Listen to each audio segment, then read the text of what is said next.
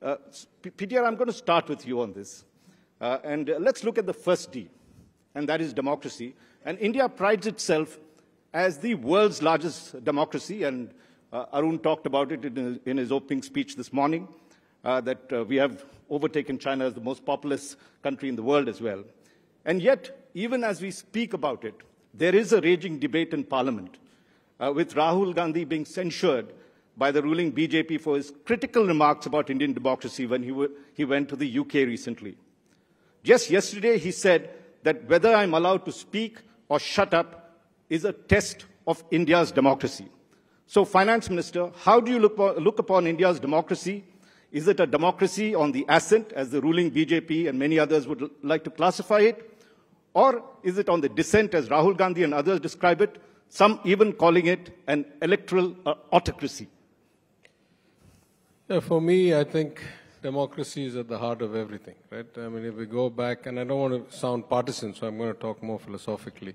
I'm happy to become partisan if you ask me the right question, but right now I'll say, I think it is now beyond doubt that democracies where you have strong, independent institutions, where there is a vibrant opposition, where there is accountability, this kind of a democracy high rates of growth and good social progress go together. I think that's beyond doubt. There used to be a question does economic activity drive institutional kind of superiority or the other way around? I think right now we know it's not a chicken and egg problem. The more you have robust, independent institutions, the more you have a vibrant opposition, the more there's accountability, the more likely that you are to get not just a better society, but also a better economy, faster rates of growth. From that perspective, I would have to say that it's not a subjective opinion on almost any scale anywhere in the world that our democracy has not been progressing in the last few years, probably regressing.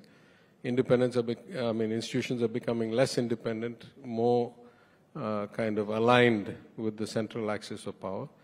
So I don't want to get into in, in instances, but broadly, I would say that the quality of our democracy leaves a lot to be desired and is going in the wrong direction.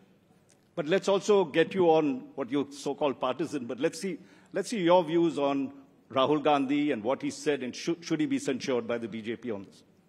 Look, I don't think any party gets the right to censure, right? Either the speaker censures, and usually that's for things that are said in the House. What is said outside the House should be kept outside the House. If you exceed the parliamentary code inside the House, the Speaker has the right to make a censure.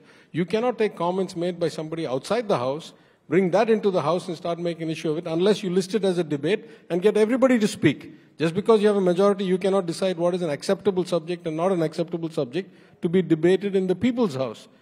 Right? There has to be some norm. And, and what is your personal views about uh, Rahul Gandhi and what he said? Do you think they were defamatory of the country? I, I will restrict myself. Democracy.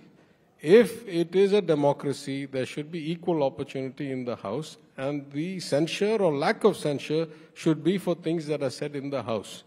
Why should I opine on anybody else's private statement outside the House? Every citizen is entitled to that. That's not subject for political debate, right? At least not in the House, outside maybe. But you didn't say, do you agree with him or not? I, it is not my job to have an opinion of what he says. I'm telling you the quality of our democracy is deteriorating, and that's unilateral in most assessments. This particular instance, I don't see it's my job to comment. It's not my day job as a minister, right?